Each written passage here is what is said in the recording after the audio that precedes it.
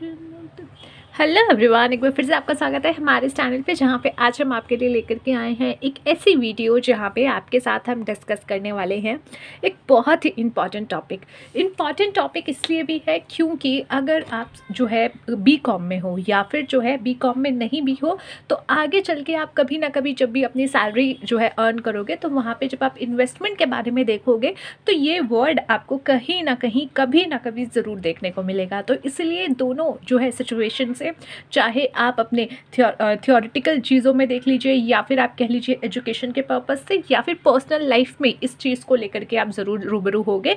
तो ये जो आज का वर्ड है, जो कि आज हमारा टॉपिक है दैट इज़ बी जो कि आपके लिए समझना आज इंपॉर्टेंट है।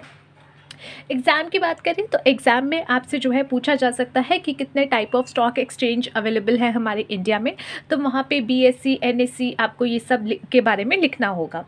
सेकेंड थिंग यहाँ पे एक शॉर्ट नोट लिखने के लिए आ सकता है एग्ज़ाम में जहाँ पे सीधा सीधा नो बकवास सीधे काम की बात पूछी जाएगी दैट बीएससी के बारे में एक शॉर्ट नोट लिखिए तो वो आपका फाइव मार्क्स का क्वेश्चन हो सकता है। सो so, वेटेज की बात करें तो फाइव मार्क्स से ज़्यादा से ज़्यादा सेवन मार्क्स तक ये वेटेज आपका जा सकता है लेकिन उससे ज़्यादा इसके चांसेस कम हैं। सो so, आज यही हम समझने की कोशिश करेंगे। देखिए कई बार क्या होता है जब भी आपको कोई चीज़ बाय करनी होती है जैसे मुझे ये नोटबुक बाय करनी है ये पेंसिल बाय करनी है ये रबर बैंड बाय करना है या फिर ये टेबल बाय करना है ये जो क्लोथ इस पर बिछा हुआ है, ये बाय करना है। कुछ भी मुझे बाय करना है तो मुझे जाना पड़ेगा एक मार्केट में। जो भी मेरे आसपास की मार्केट होगी या जिस भी मार्केट से मैं बाय करना चाहती होंगी। तो जब हमारे इंडिया में स्टॉक के कॉन्सेप्ट आए स्टॉक का सेल परचेजिंग शुरू हुआ कंपनीज़ रजिस्टर्ड हुई कंपनीज़ की लिस्टिंग हुई तो उसके बाद क्वेश्चन उठा कि भाई कंपनीज़ तो रजिस्टर्ड हो जाएँगी कंपनी के जो है शेयर्स भी बेच दिए जाएँगे, लेकिन ये मिलेंगे कहाँ? या फिर इसको ख़रीदने के लिए कहाँ जाना पड़ेगा? क्या पड़ोस वाले चचा की दुकान पे जाकर के जो है टपरी में जाकर के शेयर्स खरीद सकते हैं? ऑब्वियसली नोट जिस तरीके से कुछ पर्टिकुलर चीज़ों की अलग से मार्केट होती है, जैसे कि आप अगर जाओगे तो इलेक्ट्रॉनिक मार्केट कई जगह पर होती है, सिर्फ़ इलेक्ट्रॉनिक का सामान मिलता है। कई जगह पर सिर्फ़ कपड़े का मिलता है, जैसे दिल्ली में एक एरिया है जहाँ कत्तन मार्केट नाम की है, जहाँ पर सिर्फ़ कपड़ा मिलता है अलग अलग वेराइटी का। उसी तरीके से अगर आपको स्टॉक बाय करने हैं तो उसके लिए आपको क्या चाहिए होता है? एक पर्टिकुलर मार्केट जहाँ पे आप जा करके जो कंपनीज़ के शेयर्स बिकने के लिए हैं अवेलेबल हैं, वहाँ जा कर के उसकी सेल परचेज कर सको। तो वहाँ उस चीज़ के लिए एक प्लेटफॉर्म चाहिए था। तो वो प्लेटफॉर्म बना स्टॉक एक्सचेंज स्टॉक एक्सचेंज यानी कि जहाँ पर आप जा सकते हो और अपने स्टॉक्स को, अपनी जो सिक्योरिटीज़ हैं, उसको एक्सचेंज कर सकते हो। एक्सचेंज का मतलब सिर्फ़ बाय करना नहीं होता, बल्कि बाय एंड सेलिंग दोनों इंक्लूड हो जाती हैं। अगर आपके पास कुछ पर्टिकुलर स्टॉक्स हैं और आप उसको सेल करना चाहते हो तो भी आपको मार्केट जाना पड़ेगा और सेल अगर आप जो है बाय करना चाहते हो तो भी आपको मार्केट जाना पड़ेगा। ये कोई पर्टिकुलर प्लेस नहीं है, जहाँ पर आपको जाना पड़े बस पकड़ के। ये एक प्लेटफॉर्म है, जहाँ से आप अपना जो है, अपने सिक्योरिटीज़ को सेल परचेज कर सकते हो।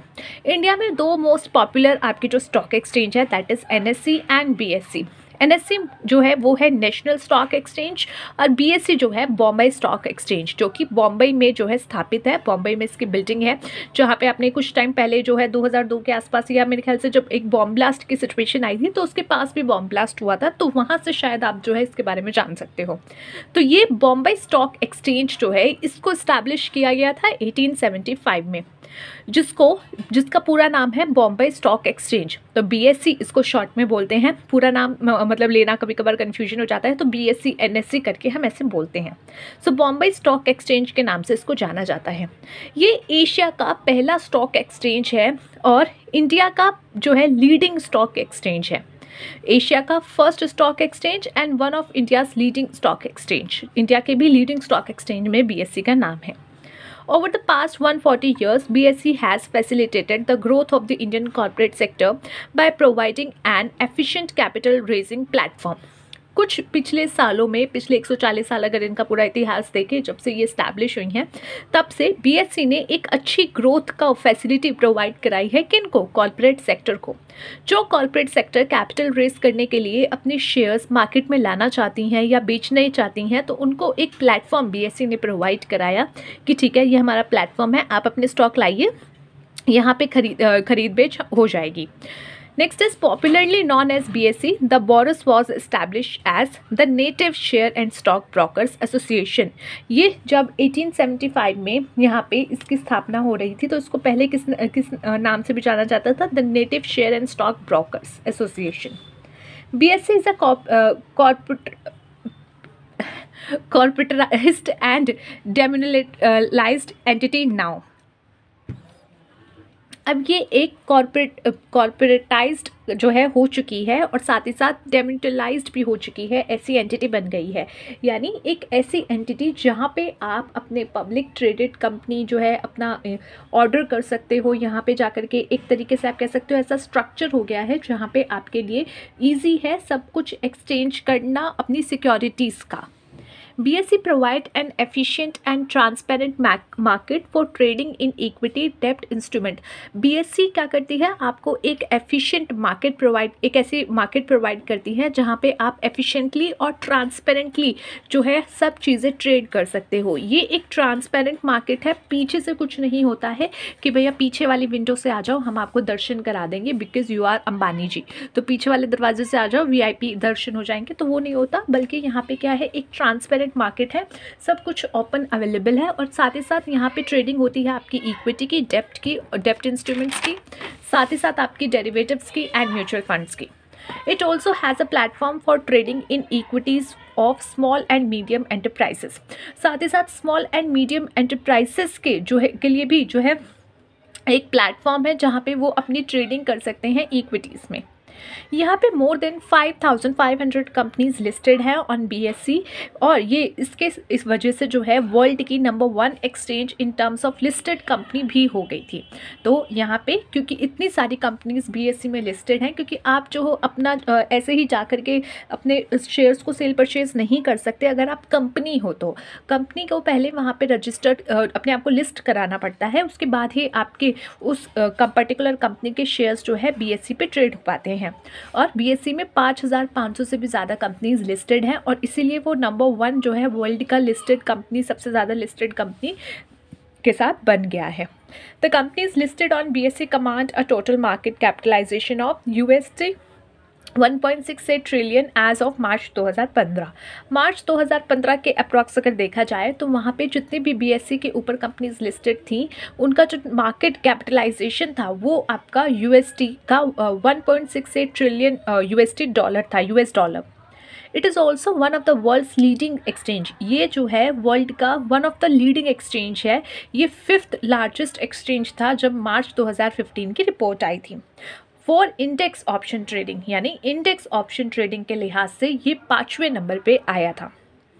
B S E also provide a host of another service यहाँ पे जो है बी एस सी आपको और भी सर्विसेज़ प्रोवाइड करता है होस्ट करता है अदर सर्विसेज़ जैसे services to capital market participant के लिए, जैसे risk management clearing settlement market data service and education it has a global reach with customers around the world and nationwide presence यहाँ पे जो भी इसके कस्टमर्स हैं, यानी पीपल हुआ ट्रेडिंग ऑन बी वो वर्ल्ड में बहुत जगह पे फैले हुए हैं।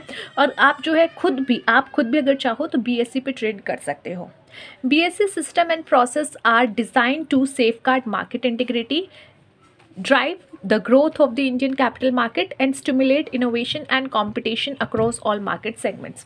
BSE का सिस्टम जो है, ऐसा है प्रोसेस जो है, ऐसे डिज़ाइन किया गया है कि मार्केट की जो इंटीग्रिटी है, वो सेफ़ गार्ड रहे ऐसा नहीं है कि भाई जो है कुछ गलत फैसले लिए जा रहे हैं या फिर गलत तरीके से चीज़ें की जा रही हैं, ऐसा नहीं है बल्कि सब ओपन ट्रांसपेरेंट है ताकि लोगों के बीच में जो इन्वेस्टर्स हैं या जो आपके शेयर ट्रेडिंग करना चाह रहे हैं, उनके दिल में भी एक जो है, उसको देख करके विश्वास बना रहे हैं कि यहाँ गलत नहीं हो रहा है हम जो भी ट्रेड करेंगे ईजिली सब सेटल्स हो जाएँगे। सो so, एक इंटीग्रिटी बनी रहे इंटीग्रिटी बनाए रखें ग्रोथ बनी रहे कैपिटल मार्केट की ग्रोथ बनी रहे साथ ही साथ नया नया कुछ इनोवेशन लेकर के आए ताकि जो है बेटरमेंट हो हमारे मार्केट सेगमेंट के लिए। बी जो है पहला जो है फ़र्स्ट एक्सचेंज है इंडिया का and second in the world of uh, world to obtain an ISO 9001 uh, 2000 certificate एक सर्टिफिकेट जो आपका ISO होता है वो सर्टिफिकेट लेने वाला BSc पहला एक्सचेंज था इंडिया में। पहला एक्सचेंज इंडिया में था जिसको ये सर्टिफिकेट मिला था और दूसरा एक्सचेंज इन द वर्ल्ड जिसको ये सर्टिफिकेट मिला था। Also the first exchange in the country and second in the world to receive information security management system standards और साथ ही साथ जब आपका पूरे वर्ल्ड में जब एक सिस्टम शुरू हुआ था कि कौन से सिक्योरिटी uh, एक्सचेंज जो है एक बेहतर सिक्योरिटी एक्सचेंज है इंफॉर्मेशन सिक्योरिटी मैनेजमेंट सिस्टम के लिहाज से। तो उस स्टैंडर्ड के अकॉर्डिंग भी इसको सर्टिफिकेट मिला था और यहाँ पे ये इंडिया का फ़र्स्ट एक्सचेंज था जिसको ये सर्टिफिकेट मिला। एंड वर्ल्ड का सेकेंड ये था जिसको ये सर्टिफिकेट रिसीव हुआ था। It operate one of the most respected capital market education institute in the country सिर्फ़ इतना ही नहीं इसकी एक खुद की इंस्टीट्यूट भी चलती है जहाँ पे इन जो है आ, कोई भी अगर कुछ सीखना चाहे ट्रेडिंग करना इन्वेस्टमेंट पर्पज से या फिर बी पे कैसे ट्रेड करते हैं मार्केट में शेयर मार्केट में कैसे डीलिंग करते हैं कैसे सब चीज़ें होती हैं कैसे जो है पूरा ये प्रोसेस मैकेनिज्म काम करता है स्ट्रक्चर कैसे ये पूरा काम करता है इसके बारे में। तो बीएससी का एक इंस्टीट्यूट है जो कि शॉर्ट कोर्स ऑनलाइन कोर्स आजकल तो ऑनलाइन कोर्स हर जगह जगह होते हैं। तो यहाँ पे भी जो है आपको कई तरीके के कोर्सेज मिल जाते हैं जो बीएससी इंस्टीट्यूट लिमिटेड के द्वारा होते हैं। साथ ही साथ NSC के भी बहुत सारे ऐसे कोर्सेज हैं जो NSC के इंस्टीट्यूट से मिलते हैं। तो बीएससी एंड NSC आप दोनों पर जाकर के वो चीज़ें देख सकते हो। अगर आप जो है सिक्योर आप कह सकते हो कि शेयर मार्केट में अगर आपको कल को अपना फ्यूचर बनाना है। BSc also provide depository service through its Central Depository Service Limited, यानी CDSL साथ ही साथ जो है CDSL भी जो है इसका एक तरीके से हेल्प करता है, जो कि डिपॉजिटरी सर्विस प्रोवाइड करते हैं। डिपॉजिटरी सर्विस क्या होता है? पहले शेयर्स जो है पेपर बेस मिलते थे। तो पेपर आपके पास होता था, यानी आपके पास जो है ये शेयर है। बट अब क्या हो गया है? शेयर्स जो है डिजिटली फॉर्म में आ गए हैं डीमेट अकाउंट्स में आते हैं।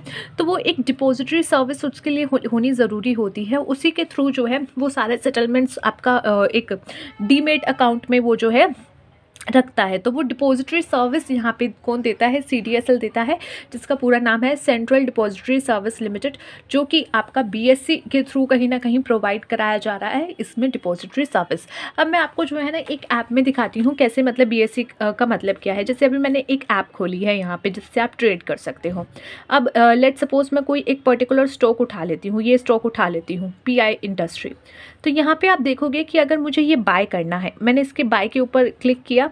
अब यहाँ पे मुझसे पूछ रहा है क्वांटिटी बीएससी और दूसरा यहाँ पे अवेलेबल है एनएससी बीएससी एनएससी तो यानी दो यहाँ पे मेन हमारे पास है बीएससी और एनएससी या जहाँ पे ये कंपनी लिस्टेड है, जिस, ये पीआई इंडस्ट्री ने अपने आप को दो जगह लिस्ट करा करा रखा है एनएससी में भी और बीएससी में भी। तो अगर मुझे बीएससी से बाय करना है तो मैं यहाँ पे बाय करूँगी और एनएससी से बाय करना है तो मैं यहाँ पे बाय करूँगी। वहीं अगर ये आपको जो है Uh, कोई और यहाँ पे चेक करना है। लेट सपोज़ या फिर आपको इसी पे देखना है कि यहाँ पे आप देखो एन पे इसका प्राइस है three three seven seven zero five और यहीं पे अगर मैंने बीएससी पे प्राइस देखा तो three three seven four point eight zero तो हल्का सा ही फ़र्क है ज़्यादा नहीं है बट यहाँ पे एस जो है आप देख सकते हो कि एन और बीएससी दोनों पे लिस्टेड है और दोनों पे जो है नॉर्मली सेम प्राइस ही ऑलमोस्ट रहता है। बहुत ही तुचड़ सा फ़र्क यहाँ पे दिखता है। तो ये आपका होता है दो मेन पॉइंट जहाँ पे आप बाय कर सकते हो। तो ये दो प्लेटफॉर्म थे जहाँ पे आप जो है मार्केट सिक्योरिटी एक्सचेंज थे जहाँ पे इस कंपनी ने अपने आप को लिस्ट करा रखा था तो आपके पास दो ऑप्शन आ रहे थे। सो so, ये था गाइज़ आज का आपका कॉन्सेप्ट बीएससी का। आई होप थोड़ा सा क्लियर हुआ हो ठीक है? थोड़ा सा भी क्लियर हुआ होगा। अगर हल्का सा भी जो है बीज भी डल गया होगा तो भी बहुत है मुझे लगता है कि इससे फिर आपके अंदर जिज्ञासा बन जाएगी और आप खुद भी सर्च कर करके चीज़ें देखोगे। तो आज के लिए इतना ही गाइज़ मिलते हैं आपसे नेक्स्ट वीडियो में। चल then take care of yourself and take care of your health